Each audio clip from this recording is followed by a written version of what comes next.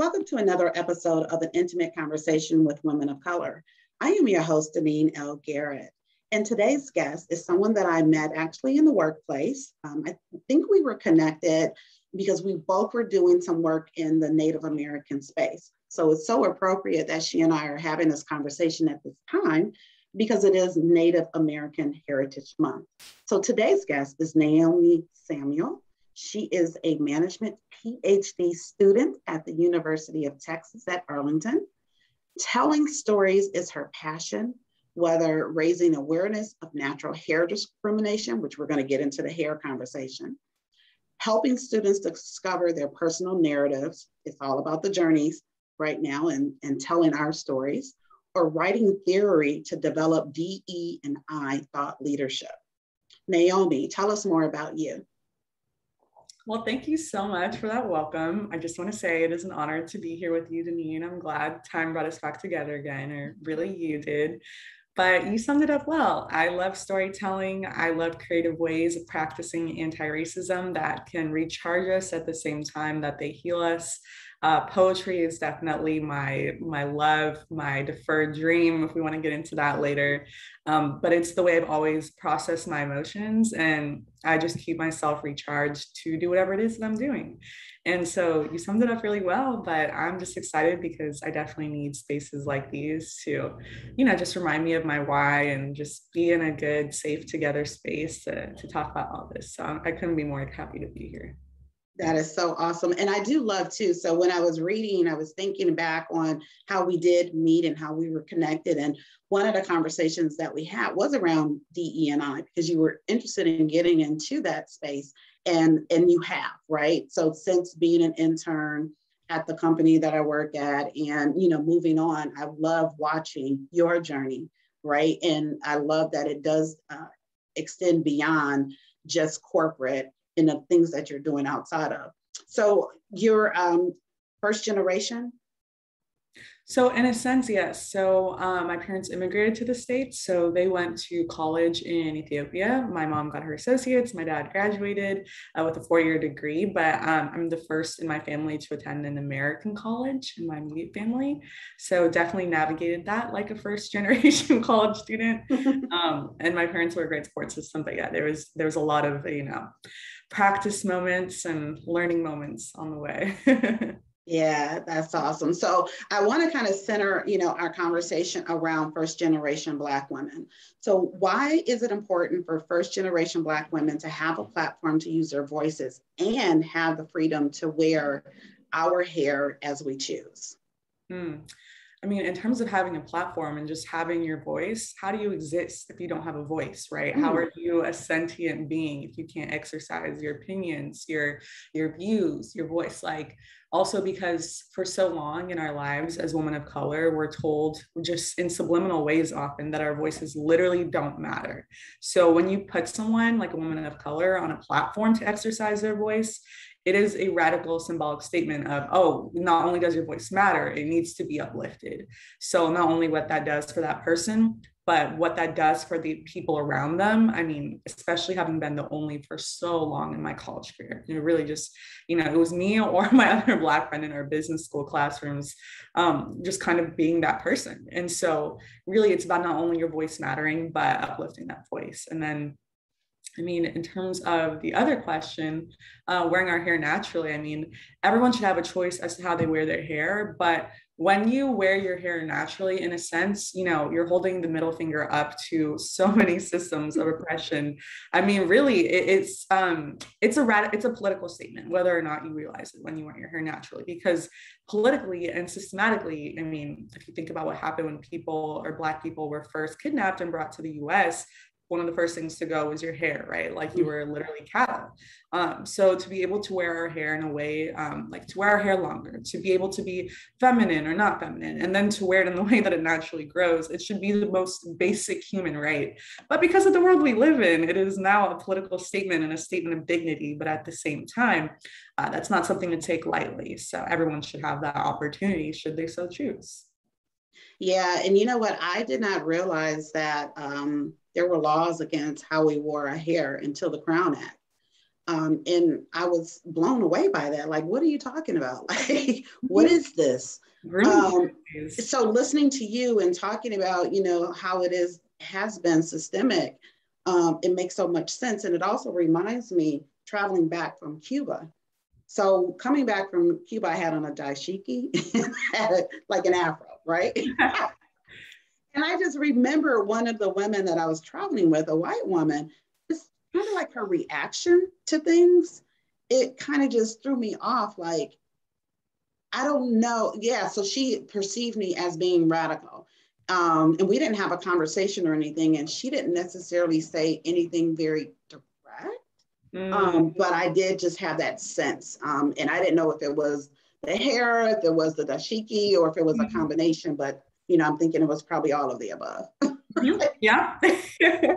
oh my gosh. Yeah, like perceived as radical because you have natural hair and you're wearing a dashiki and you're a Black Panther all of a sudden, you know, as if that's the most radical, horrible thing you could like, it, you know, it cracks me up. Uh, yeah. Yeah, and then I guess and then throw in Cuba, right? okay, what is she doing? Is she, you know, know, what is she about to start? You know, yeah, you don't even know how to interact in those moments. Like I've definitely had my share of just not even like macroaggressions and microaggressions, and yeah, sometimes you realize it, sometimes you don't, but yeah i'm still figuring out how i manage those moments for sure. I know i know absolutely yeah that one that one kind of you know has stuck with me. Um there was another situation that i had um recently and i was kind of said you know we'll talk about this. So a few weeks ago traveling so my hair was you know how so do you watch um what is our kind of people? No i don't. So there's a show on tv now it's our kind of people more a few other people, and they are wearing their hair natural. So all the styles, very, very diverse styles. And so there is this one style that's kind of like a puff. Um, it's it's like a mohawk, but it's puff. Oh, gotcha. Right. Yeah. Yeah, and then sometimes people will have a long braid with it or whatnot. And Issa Rae wears her hair that this way as well. So I, that's how I had my hair a few weeks ago. So the puff here, the long braid to the side. And so after going through security, a white woman was right behind me and she was like, Oh, I like your hair. Okay. um, it's like art. And I'm like, Yeah, yes, it is. And so afterwards, you know, I didn't know how I felt about that. I had so many different emotions. Mm. Um, just so many, right? So let me let me stop and ask you because I'm looking at your I'm looking, you know, your face and your movement. What what came to mind for you? Oh, you know, for me, it's just the brazenness sometimes that like white people can have and dominant group members can have to be so comfortable as to comment on your hair. Like, where it's not that it's audacity, but just the comfortability that they shouldn't necessarily have sometimes commenting.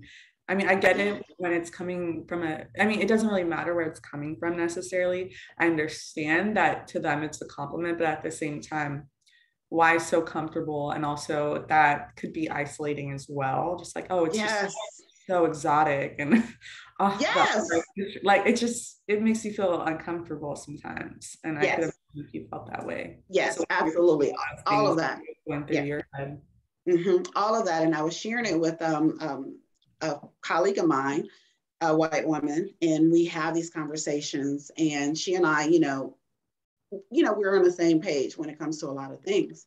And so as I was telling her about it, I also went on to say that it also reminds me of back during slavery time mm-hmm. when we're on the block, you know, and they're look look at this person, look at their features, and even Sarah Battle, I think is the last name, how she was on display and her body and um, you know, like in 1800s or however long ago it was, but being on display. Mm-hmm. And so it made me think about all of that. It's like, I'm not wearing my hair for you to compliment me, mm-hmm. right? Um, I'm wearing my hair because this is how I want to wear my hair. Is I'm wearing it for myself. I think it, I love the style. It's beautiful. I want to do something different. I'm going to this event and blah blah blah, right? And so I felt what everything you said is what I felt like. Do you? Who else do you compliment on their mm-hmm. hair? You know, I don't know. I just and then the whole art piece you know, mm-hmm. and, and again, the display. So, yeah. Yeah. Yeah, yeah. I totally feel that. No, it's so interesting you brought up um just like kind of slaves being on the auction mm-hmm. block too. Because I had one I had been working on a proposal like a few months ago, and we were talking about all the parallels between appearance standards in terms of like slavery era and right now. And you were talking about something we wrote about, which is commodification, like how black people are, you know, marveled at, commodified, categorized, you know, based on our types mm-hmm. of hair, skin tone, da da da da da. So it's hard to hear uh, someone from a dominant group just commenting on our hair or our physical features because it's kind of like, oh, you don't realize the face of history that we're, we're looking in. Absolutely. You're looking in. Like if you had processed like, you know, a what it takes for a black woman to be able to wear her hair like that, so free and like in the form of just you know uniqueness that we haven't always gotten to. If you really process the magnitude of that you'll probably just marvel from a distance. You yeah. won't be so comfortable to say anything. So it's really right. Good. absolutely. It is. It really so yeah it's a lot to unpack there. It, it's, yeah, it's there's to it it wasn't just a compliment right? Because again why did you feel like you said why did you feel so comfortable? And who else do you compliment? And yeah just, I have to just give you props. I have to give you props for recognizing that. Oh, it's not just give compliment, gets compliment, say thank you. I mean, it's not that simple. And I think it's nah. to, you know, how aware you are of the dynamics, right? And how insidious it is that you're able to take that compliment and say, wait a minute, why is this not necessarily just at face value, uh, just a compliment, right. a compliment, right? Like it, it's more complex than that. Absolutely, absolutely. So yeah, so for those who are listening on your favorite podcast platform or watching on YouTube, we are talking about the dynamics of hair, which is, you know, a lot of what we're going to talk about um, in today's uh, episode. And, you know, as women of color, Black women in particular, there is so much with hair, right? There's so much. How am I going to wear my hair to this work event? You know, like, hey, we we've been on Zoom um, for almost two years. A lot of us, and and some women are like, oh my God, how am I going to show up, right? Mm-hmm. Um, and there's a lot of thought put into it to whereas others don't necessarily put in a lot of thought. And an example I'll give you is that I was on a Zoom call and um, and this is really has nothing to do with the hair piece, but it was the comfortability of the other person. So one of my colleagues, a white woman, I'm watching as her boyfriend walked up and kissed her while we're on a work Zoom. And nothing was said. Nobody said anything. But then, okay, so here's where the hair comes in. But then let's just say a few weeks prior or a month or whatever prior, I I show up on a Zoom. My hair was braided, and the leader meant said something about my hair. Oh, I see you got your hair done. Nothing else. yeah. Oh, okay yeah and so now i'm like so i mean what right? Are you making mention of that because it's covid and i went somewhere to get my hair done um, or what are you saying? And and that's the point that we're making is that so many thoughts we can't take things at face value. We don't have the privilege have the luxury. and luxury of just taking things at face face value Oh man, that is so true. And that's why I say, like, you know, in terms of discrimination, people always try to talk about just overt discrimination. But research shows that subtle discrimination, like microaggressions, can actually have worse outcomes for the people going through it than overt discrimination. And one yeah. of those reasons is because of what you said, like, it's the rumination piece because we can't really decide right like exactly why this person made that comment. We don't have a justice pathway for well these people keep microaggressing me but i don't know like i can't go to hr about that right? And so that's why subtle discrimination can be worse than yes. discrimination. And i totally feel you in terms of well when these comments are made, it's up. I, I instantly have to manage that and decide, okay, well, how much do I want to ruminate on this? I don't really mm-hmm. know why they said that that way. And, you know, am I going crazy? And I'll gaslight myself a little bit, but obviously so many of us go through it and so just talking about that white colleague and just being so comfortable as to kiss a partner on camera but then you change your hairstyle right? And everyone just kind of it's like oh something just happened and right. else is said. Yeah it's it's it's so clear to see for us right? And it, it blows my mind that not everyone has to be so hyper aware absolutely and and also make the point that this the occurrence with the woman at the airport that was few weeks ago, and I'm still talking about it because go. of the impact. right? So for those, again, our audience, I want you to, non people of color, um, women of color audience, I want you all to know how traumatizing. I'm going to use the word trauma because it is a form of trauma, right? Because I'm still talking about it. You know, it, it impacted me in a way that I really didn't even have the language. I wasn't quite sure what what experienced so many different things about it, as opposed to like, oh, thank you for your compliment. Mm-hmm. it wasn't that. It was much more to that. And again, that's what we as women of color, as Black women, go through when we're stepping outside. And again, with COVID, we didn't even have to step outside to consider how we want to show up, right? Because we can't show up the way that everybody else is show, up, shows up because yeah. it, we're called out in some kind of way. At micro, minor, you know, macro, micro, it, it happens. Totally. totally. so with COVID, yeah. you know, working remote, it feels like Black women have finally been given some psychological space. And I know that a lot of people who don't want to go back into the office. Right. It's important. That's yeah. safety I mean, yeah. I remember right before COVID, I had started at a new client at the company I was working at. And I probably spent a week on site and then we just went completely remote and COVID started. And it helped me so much just being young and being a woman of color and trying to tell clients the facts and just trying to be a boss businesswoman essentially. Um, but just knowing that my age and my race would result in people perceiving me differently. Yeah. Um, so really working remote was just freeing because it's a lot easier to manage yourself and like how others control how others see you, right? When you're just the box. Oh my God. And could you imagine being in a workplace during George Floyd, the murder of George Floyd during that time? Right. right. I mean, it was horrible enough being remote. Right. I still remember that day that I really processed what happened. And it was just horrible right? Right? I mean all of those different things they they creep up on us. They don't necessarily hit us because we experience them so often. But then there's times where you know it, because that so at that time i had taken a few days off because that, that was during my birthday week. And then the day i came back it, it kind of hit me and i'm like you know what? Yeah i'm done for the rest of the week. Like i can't.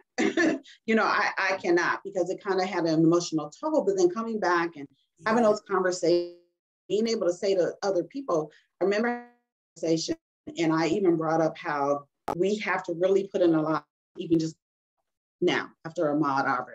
We have to th- really think about that, right? Like, where where am I going to jog? Where is it safe for me to jog? And so, shortly after having this call, they sent out an email, and the email was about getting physical and like going and jogging. like, oh my goodness. Yeah. Talk about ignorance. Oh man. Yeah.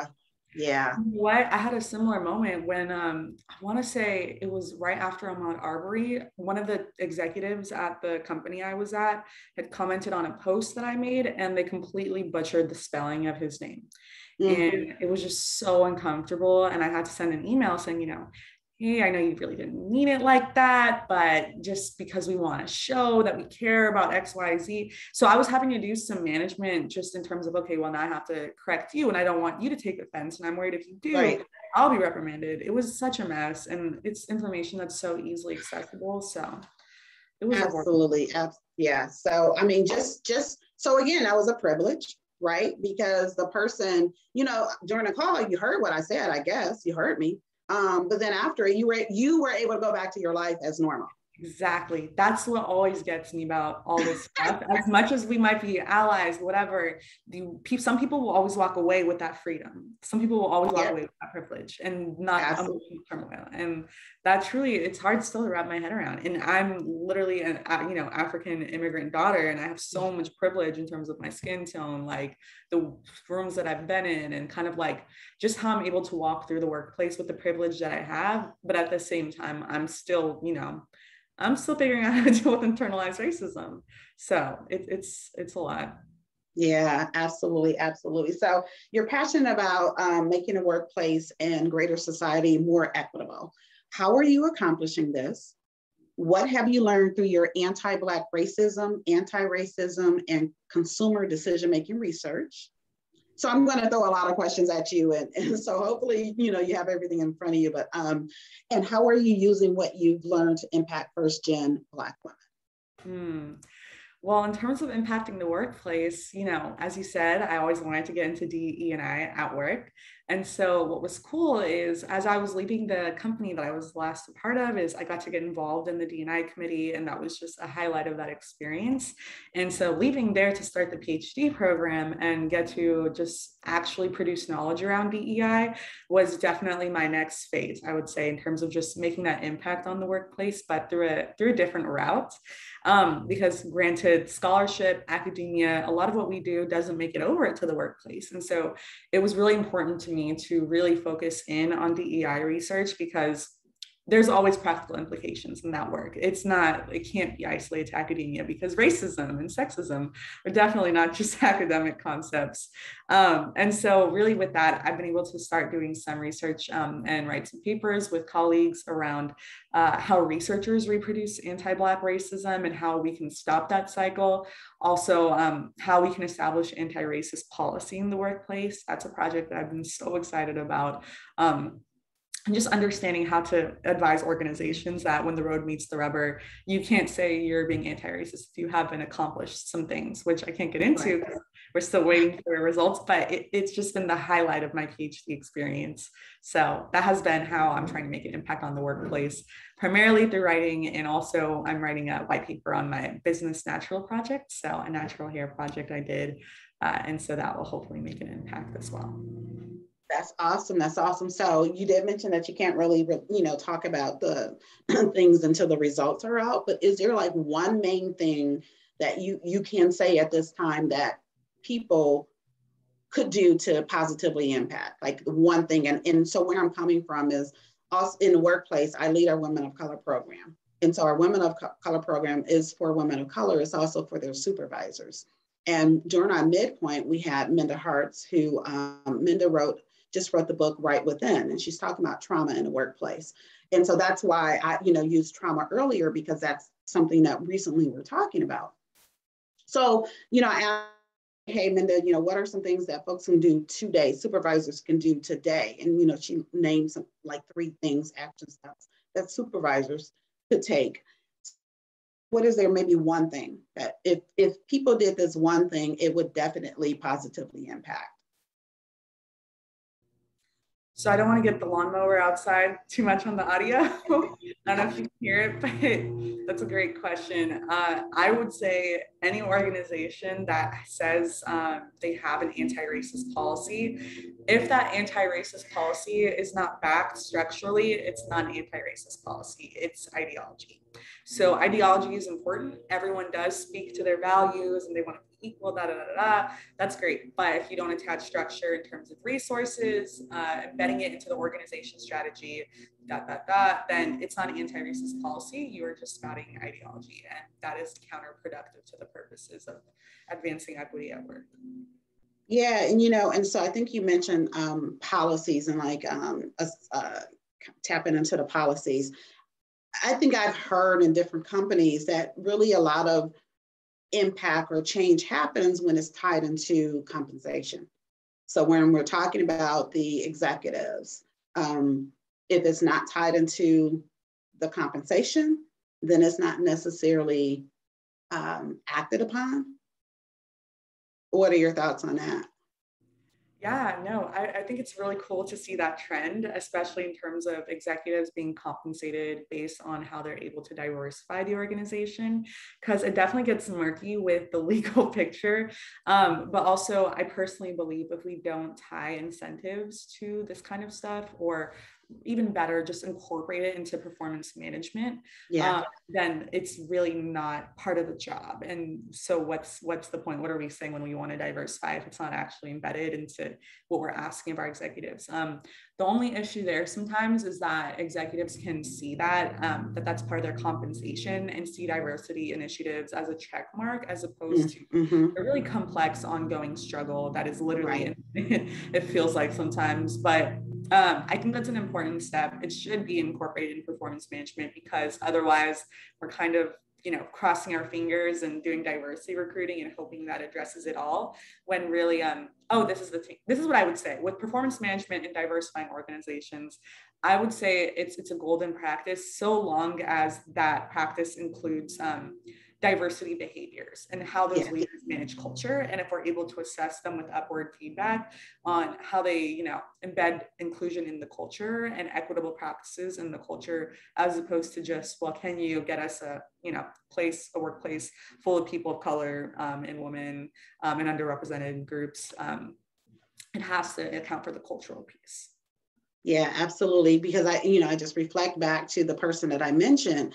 If it's not something that's really resonating with leaders, they're not going to make those changes. So again, that example, we were, I was saying how, oh my God, I really have to think about where am I going to go jog? And shortly after, the person who I'm talking to, and, and it was others on a call, but that person, a leader, hmm. sent out an email about like jogging.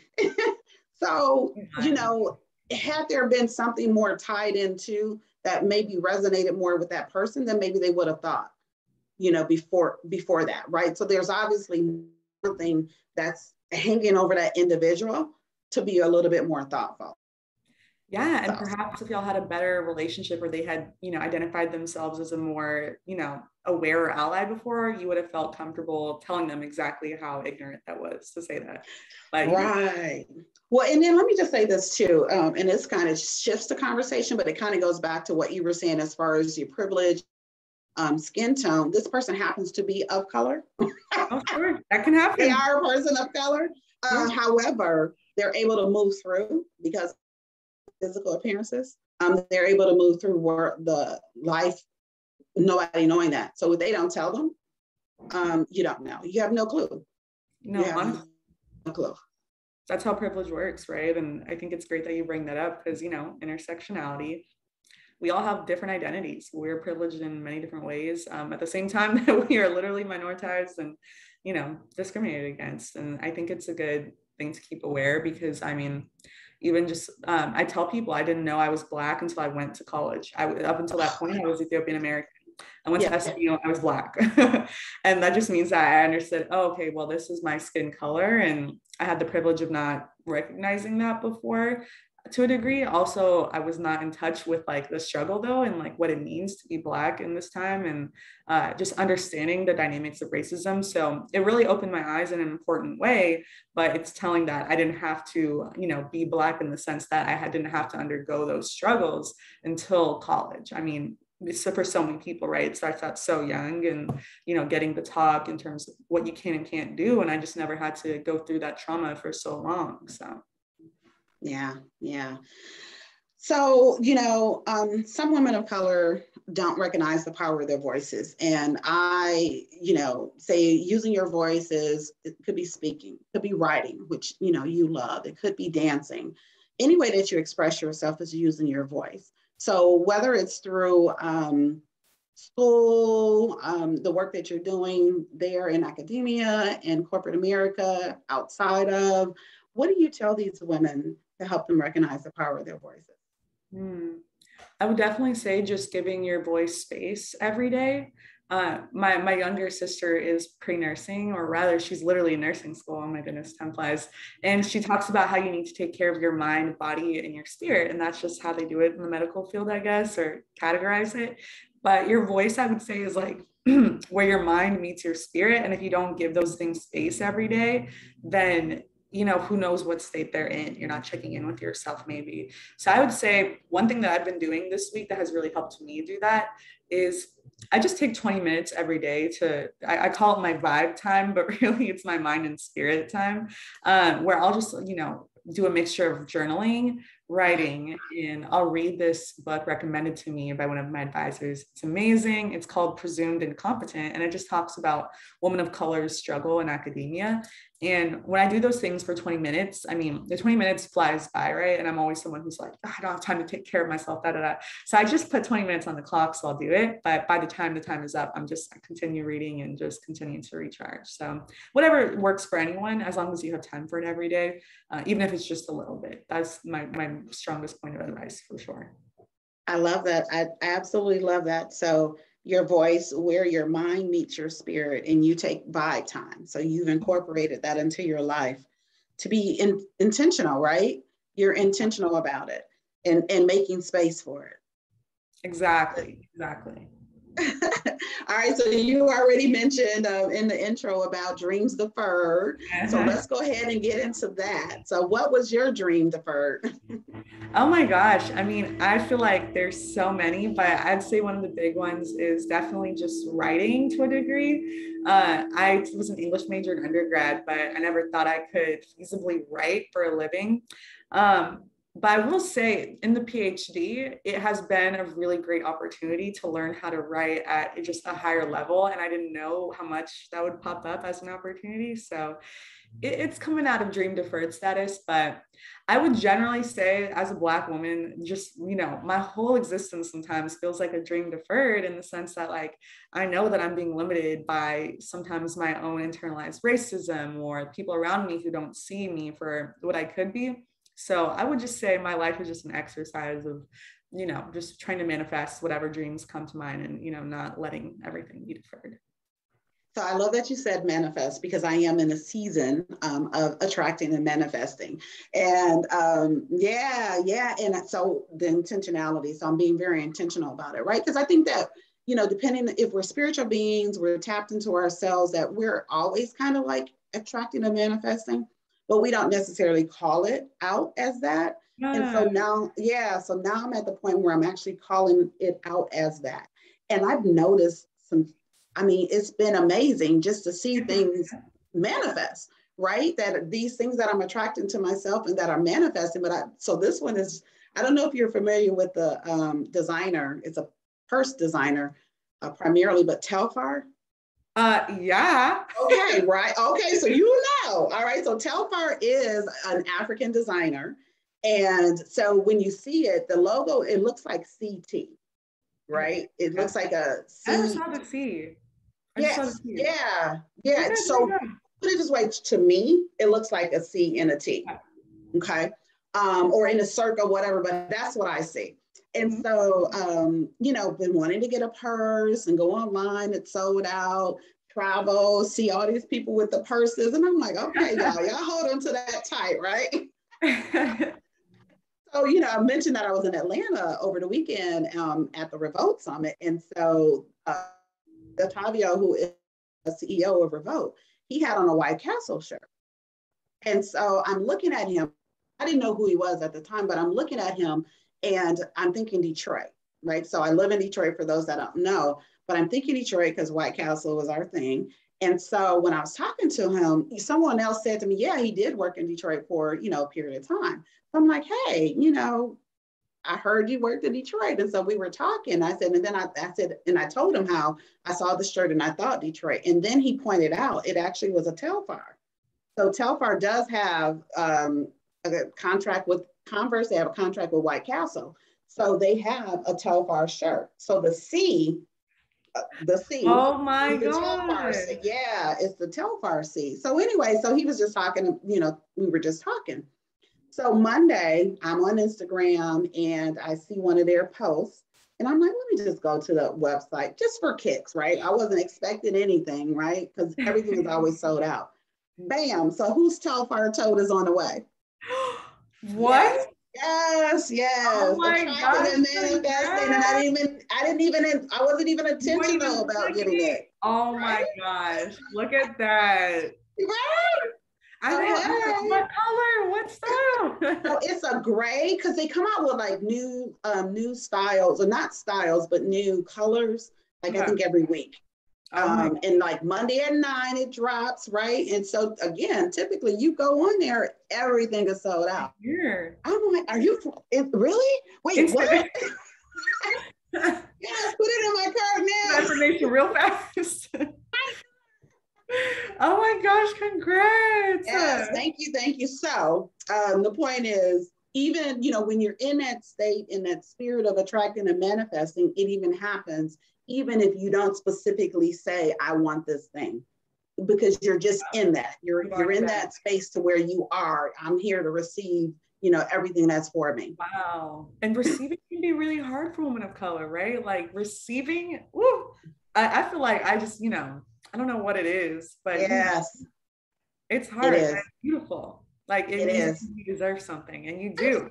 Absolutely, absolutely, yes to all of that Right? Yes to all of that. Yes, yes, yes. And I'll tell you that so the weekend was amazing. It was that like with the I'll tell you another thing. So I'm also in where I'm attracting, you know, men, right? Uh, okay, okay. And I oh, did. I okay, t- tell me, tell me. Listen, I, so when I got into that space of this is what I want in my life now, it's raining men.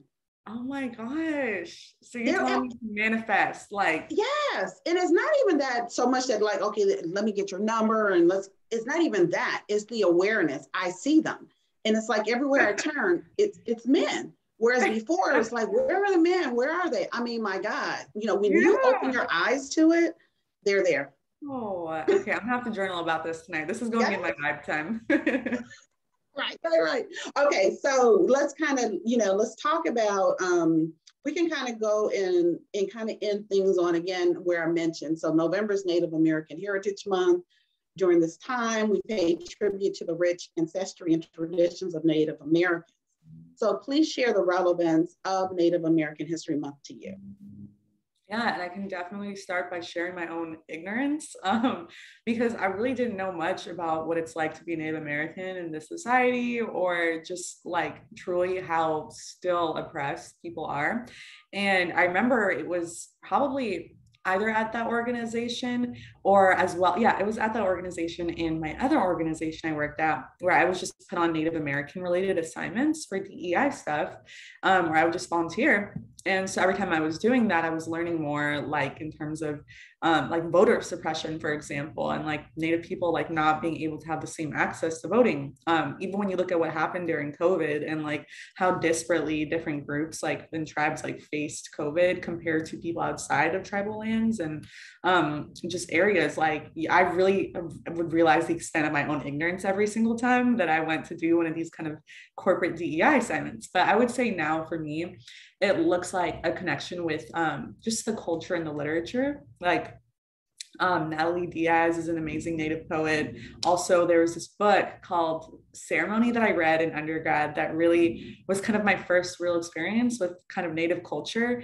And it was really interesting because this conversation reminded me I read it. And I remember at one time at SMU, I was in this class and we were talking about the book, and it was five of us, uh, all women, uh, sitting on the steps outside of Dallas Hall Lawn, which is just really scenic and pretty. And, you know, the weather was all nice. And we were reading this passage from this book, which talks about you know, this uh, young Native man who went and fought, I want to say in World War II, and comes back with PTSD and he's trying to find his way back to who he is um, and recovering from that and kind of getting in touch with his heritage as a Native man.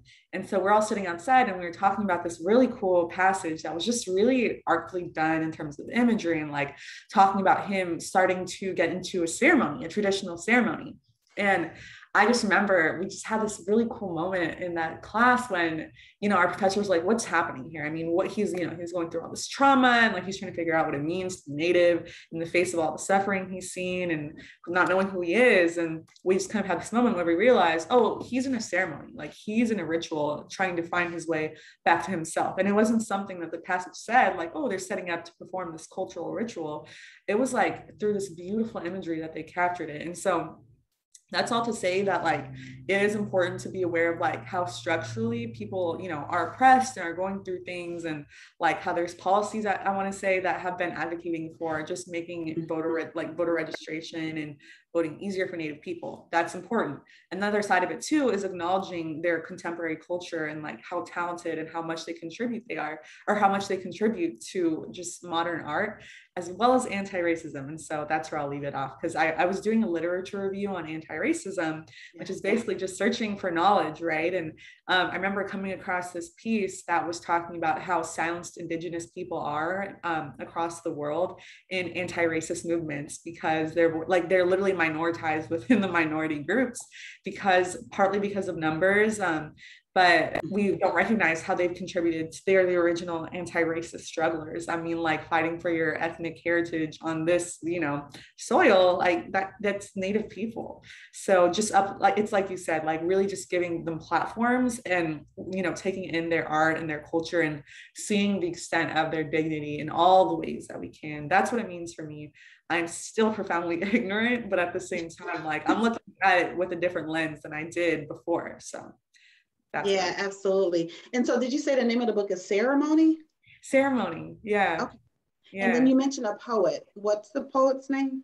Natalie Diaz, she's very much like a modern poet, really will just strike you in your feels and like brings in those elements of like just being from that heritage, but existing in this world and like just kind of don't fall in love with your colonizer energy. but yeah, yeah, awesome poet. Uh, thank you for sharing that. Yeah. So uh, last night I was thinking about, so I'm taking all of that, right? And so I'm thinking about, you know, just the whole you know, leaving my out of office. And, and when I leave an out of office, it's not just, oh, I'm out until Tuesday. It's more of like what I'm doing, right? So, you know, like being grateful and whatnot. And so I was having a little struggle with what do I want to say around Thanksgiving, right? Because of the the history of it. Um, but for me, it's really just being grateful, right? Just being more grateful. So it's not that like we don't ever sit around and like, oh, it's Thanksgiving, you know, let's give, you know, honor to the pilgrims. Like, that's not what we're talking about. Yeah. right? Like, that's not happening. Like, nobody's thinking about all of that. It's just, oh, this is the day, you know, when we come together as a family and, and, and we have dinner, right? It's, it's a big, large dinner. And we are thankful and grateful for things. But again, it's not paying homage to that. I right? Love that. Um, I love that because, yeah, no. right? No one's worshiping No, yeah, but I think it's good because like it's definitely hard like when you have that consciousness of how it's mm-hmm. celebrated and all the propaganda around the yes. Um, yes, like, we grew up some with, with some messed up messages around genocide and how we learned about it, and so I, I really love that. Like just using taking it at face value. Thanksgiving, give thanks, be aware. Right and there and there it is right yeah. absolutely all right so before we wrap what would you like to leave um, our audience with I mean, uh, this has just been so great. So I would say I would leave them with if there is a woman of color you admire, just connect with them and recharge with them because we wouldn't have this conversation if you hadn't reached out and it just made my day. And yeah, yeah, I would say sometimes we need that little reminder, like we need to get into those spaces to just, you know, set the day off on the right foot. That's what I'm doing. I love that. I love that. All right. So wait, and so uh, so um, I told a little fib. We're not ending just yet because I want you to tell us about that shirt. oh yeah, sure. So the shirt that I'm wearing, it is just a simple shirt that depicts these people, um, just with this feminine bone structure and just I don't know, very simple, but just showing all these different skin colors. And um, I bought it at an art gallery of a friend of a friend, and yeah i just love it i feel like i'm wearing something that i'm seen in and yeah it's just so simple but so beautiful so yeah anytime I can wear not wear activism necessarily but just wear something diverse and beautiful. It's what you put around yourself that shapes your world so. Absolutely. So you're you're rocking you. you're oh thank you. So you're rocking women of color. So right that's that's what you're doing there and it's art. Um, we talked about that so i absolutely love that and it's so you know appropriate and it shows that of color that we are different shades. We are different you know wear our hair differently. We have different facial features um exactly. that you know right? We're beautiful. And we're worth wearing. We're worth bearing oh my, yes. Period. So okay. thanks for making All me take the shirt out. Right? So Naomi Samuel, thank you so much for starting your day with me.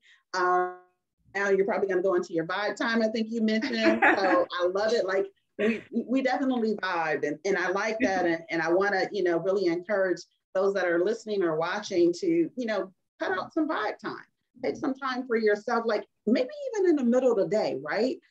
Totally. Just doing like something, you know, if you're starting your day, start off with gratitude. Maybe in the middle of the day, let's do some vibing At the end of the day, you know, go journal, whatever you do, just to quiet and maybe even reflect on the day and maybe even reflect on what setting your intentions, uh, mm-hmm. uh, attracting and manifesting for what's to come and what you want for yourself. Manifesting. Right? yes, man. I love it. I love it. So thank you so very much. And again, thank you to those who are uh, listening on your favorite um, podcast platform, who are watching on YouTube, please continue to support, continue to listen, share all of the things. Um, my goal is to reach millions of women of color. In order to do so, I need your help to um, reaching them. And so again, sharing is so important. And I thank you and enjoy the rest of your day. let's see. So this is going to air Friday at midnight. So it will be on for um, next week, which is Thanksgiving. Okay, so the day that we set aside to be grateful, right? We're grateful often, but that's the special day that, you know, a lot of us come together with family um, to express gratitude. So thank you all. Thank Bye. You.